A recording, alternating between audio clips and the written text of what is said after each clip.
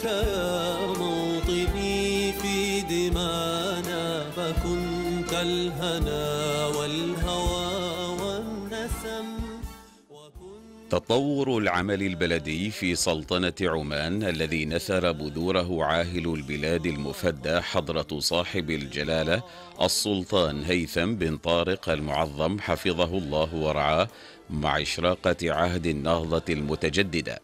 بما سنه من تشريعات وتوجيهات سامية وبما أسبغه من أياد كريمة لتطوير القطاع البلدي في سلطنة عمان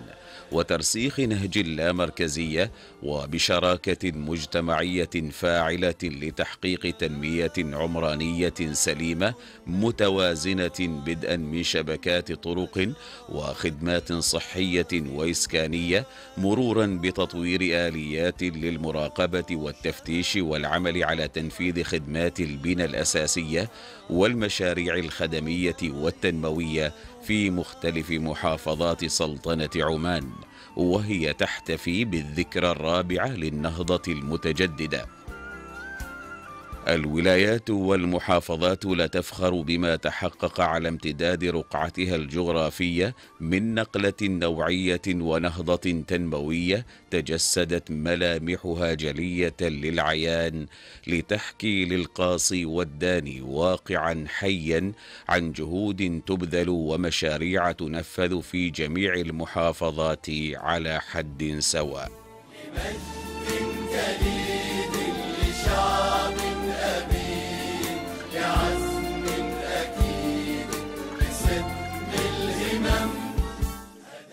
وبتنافس محمود تمضي مراحل تطوير المرافق الخدمية ومشاريع رصف الطرق الداخلية وما نتج عن ذلك من أسواق ومصانع ومحال تجارية ومعارض ومتنزهات طبيعية حولت تلك المحافظات إلى مسالك سهلة ومقاصد يسيرة تنتشر في ربوعها وجهات سياحية ومتنفسات طبيعية تستقبل الرواد من الداخل والخارج. لنا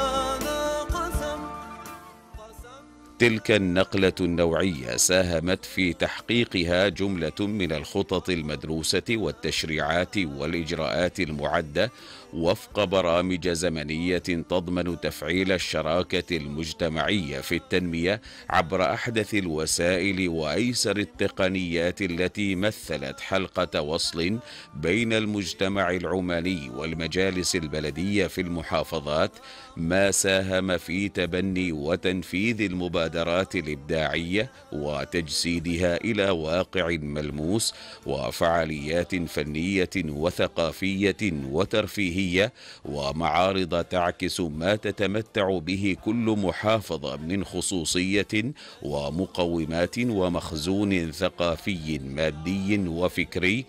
يستند على موروث عماني عريق تؤكد عليه تلك الشواهد التاريخية من مدن وقلاع وحصون وأبراج أدرج عدد منها على قائمة التراث العالمي بمنظمة اليونسكو.